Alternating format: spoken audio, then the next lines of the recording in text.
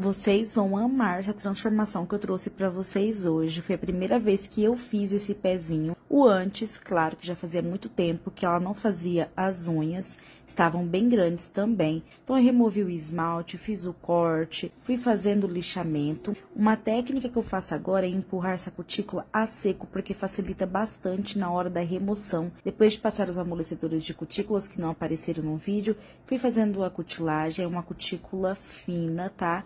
Não é grossa, então tem que tomar mais cuidado ainda. Depois da primeira camada, eu empurrei novamente, fui fazendo com todo cuidado e olhem só o resultado só da cutilagem. Vocês viram como que já foi ficando aquela transformação maravilhosa? Depois eu vim com taça de cristal, não passei cintilante por baixo.